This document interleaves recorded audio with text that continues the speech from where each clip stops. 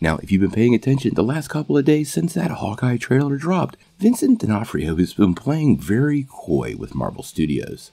There's been an ongoing rumor that Wilson Fisk could return in the Disney Plus series. And now there seems to be some more talk to that rumor, and the possibilities of the Kingpin returning seem almost imminent.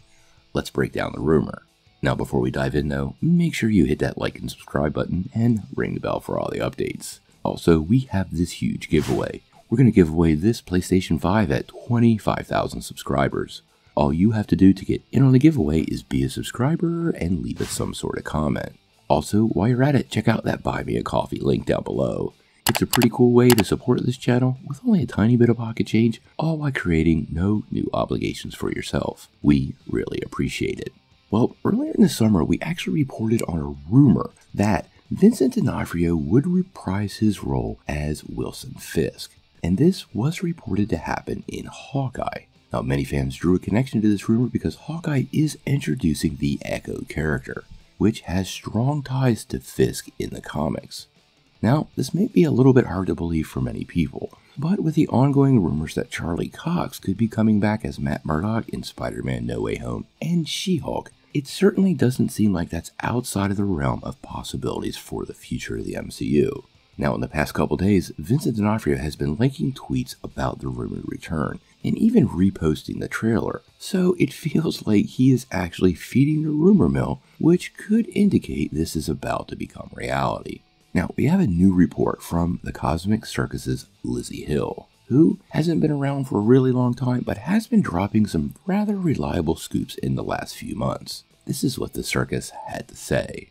It's true, Vincent D'Onofrio is returning to his Marvel role as Wilson Fisk, although he may look a little larger than life than you remember when you next see him.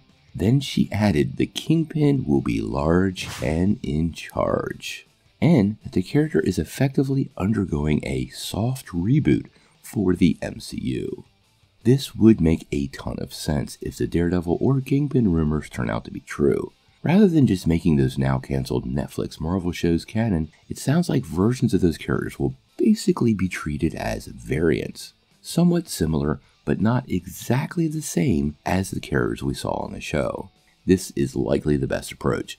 It totally frees Marvel Studios from having to hold on to the not so creative decisions that Jeph Loeb and his team made for various heroes and villains that showed up on Netflix. It effectively lets him cherry pick the good and leave behind the bad.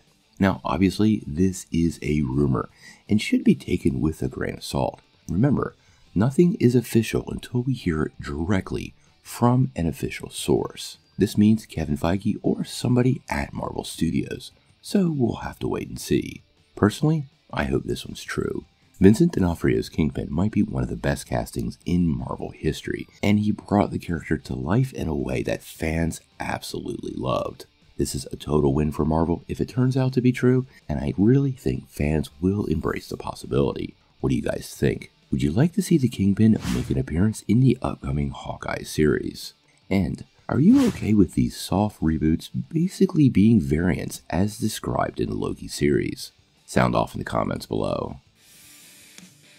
If you like this video, make sure you press like, click subscribe, and if you don't ring that bell, you're not getting any updates. Peace.